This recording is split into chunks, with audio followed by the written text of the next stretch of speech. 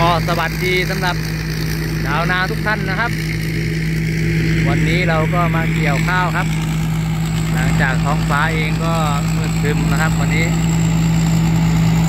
ไม่รู้จะตกตอนไหนนะครับ แต่เราก็ต้องลุยงานต่อครับ เพราะว่าชาวนาก็ต้อง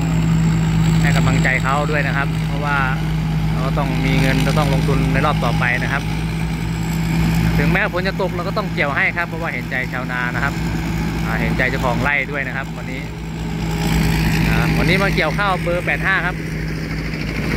อ่าเกี่ยวข้าวเบอร์ 85 นะครับ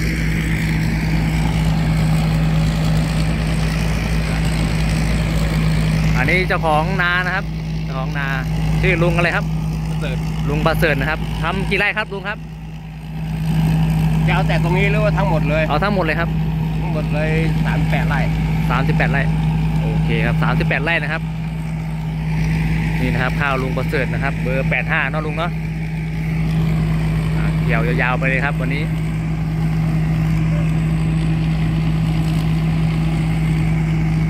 ก็ต้องเห็นใจลุงแกนะครับ เพราะว่า ข้าวก็ค่อนข้างงามครับ วันนี้ที่เราต้องเกี่ยวให้แกนะครับ เพราะว่าฝนเองก็จะตกจะตกยังไงเราก็ต้องเกี่ยวให้นะครับ เราสายลุยอยู่แล้วนะครับ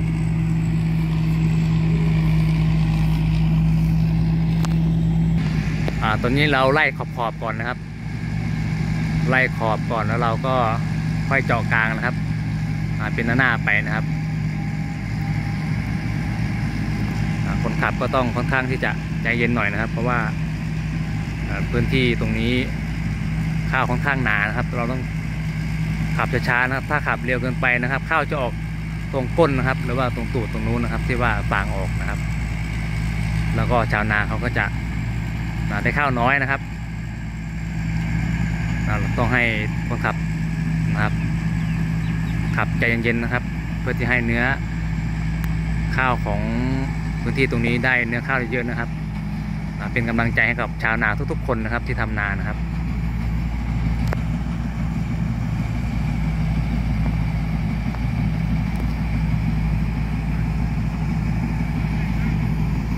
ตอนนี้ก็ได้ปล่อยไปแล้วนะครับ หนึ่งรอบนะครับ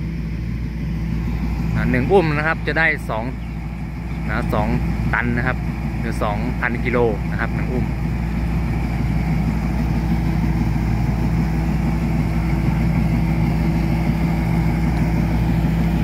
นี่นะครับพื้นที่แถวๆตรงนี้ก็ค่อนข้างจะบรรยากาศดีเหมือนกันนะครับ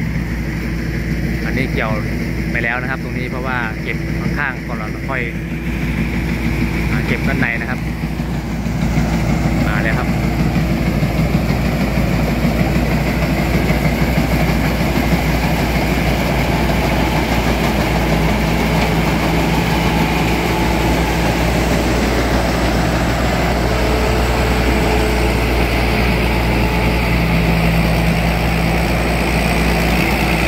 นี่ครับตรงนี้ครับที่ว่าถ้า ขับเร็วเกินไปเรื่องแค่เร่งเครื่องเกินไปนะครับ มันจะออกตูดตรงนี้นะครับอ่าทำให้ได้ข้าวน้อยนะครับเพราะฉะนั้นต้องให้คนขับขับใจเย็นๆนะครับ ไม่ต้องรีบนะครับ ถึงฝนจะตกหรือฝนจะมายังไงก็ต้องขับช้าๆครับ ถ้าฝนตกเราก็หยุดเกี่ยวครับอ่านี่นะครับฝากนะครับติดตามช่องพาทำพารวยด้วยนะครับ แล้วก็ฝากกดไลค์กดแชร์ให้กับช่องเราด้วย เป็นกำลังใจให้กับชาวนาทุกคนครับ